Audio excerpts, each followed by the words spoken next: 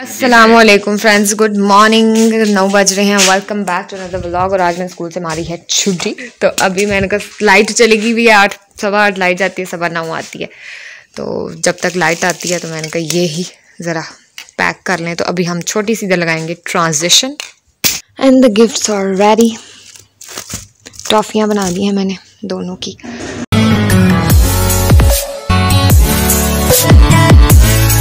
जारी जा रही है मेकअप ऑलमोस्ट डन है। और अब बस मैंने हिजाब करना है पता नहीं ये करूँगी या ये। मुझे लग रहा है वैसे ये ज़्यादा अच्छा है। और और जो भी है फ़ैशन अपनी जगह।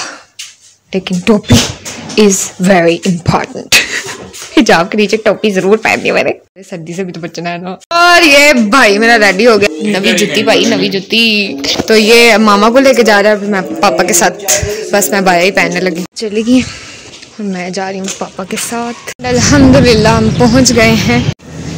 कंद फिशाऊँ बीस मिनट में बारात का वेट हो रहा है, हम लोग तो आ गए, बल्कि कोई भी दो ही टेबल भरे हैं। फूल शूल इधर रख दिए हैं।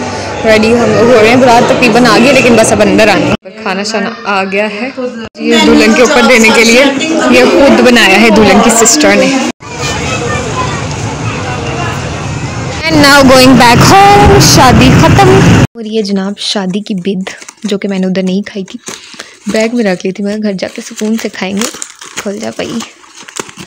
क्या है इसमें? ओहो, ऊपर डोली बनी हुई है भाई।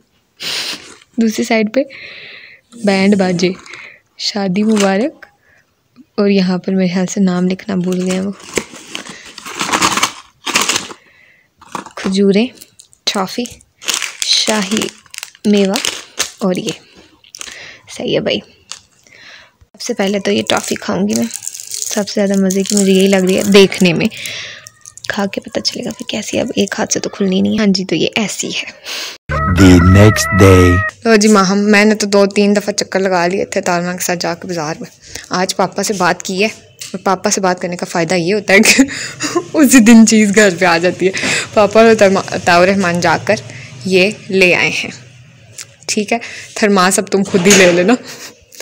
तुम्हारा आने लगा था मैं कहा चलो साथ अपना भी मंगवा ही लेती हूँ। इसको फेंटते हैं फिर दो उबालने फिर बताते हैं।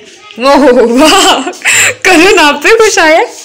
दूजे दे हैंड ओवर ऐसा मुझे वो आता वहाँ कमज़ोरी बोल में सुना। क्या? पुट्ठा बहार हो मेरे की। पुट्ठे तो की बना दे थर्मामीटर। ऐसे जा रहा हो तो मतलब बुखार है उल्टा मतलब पुट्ठा बुखार मैंने तो अंडा पा देसी अंडा पा उन फ़ैन में देसी ले गए हो गरम दूध पा अब यार नहीं है तो क्या करें यहाँ तो कोई भी चीज़ असली है ये तुमने पिए तो नहीं जाना ये तो कर रहे हो तो इसलिए तो बेकार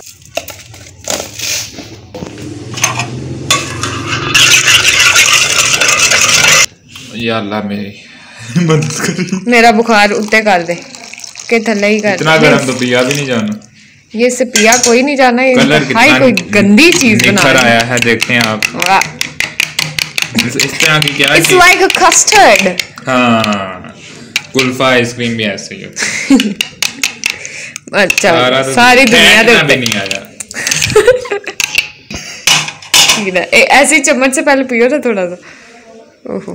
टोटका काम किया या नहीं?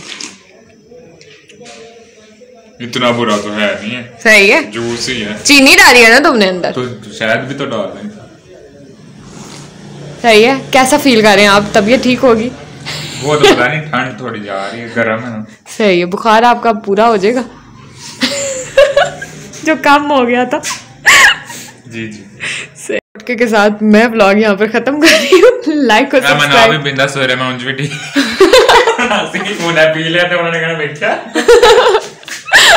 like or subscribe must also press the bell icon. Allah hafiz